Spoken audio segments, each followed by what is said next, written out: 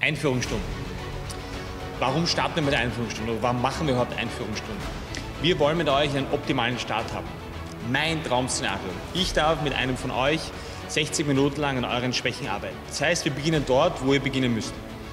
Wenn Dinge gut funktionieren, werden wir kurz drüber gehen, uns wiederholen, aber uns vor allem auf Dinge konzentrieren, die ihr nicht gut könnt. Das heißt, auf eure Schwächen, wenn Dinge nicht zu aktivieren sind, wenn gewisse Bewegungsabläufe, gewisse Bewegungsmuster nicht funktionieren.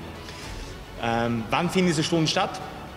Dann, wann ihr könnt. Das heißt, ihr gebt mir Terminvorschläge und wir passen diese Wünsche natürlich euren jeweiligen Bedürfnissen noch an.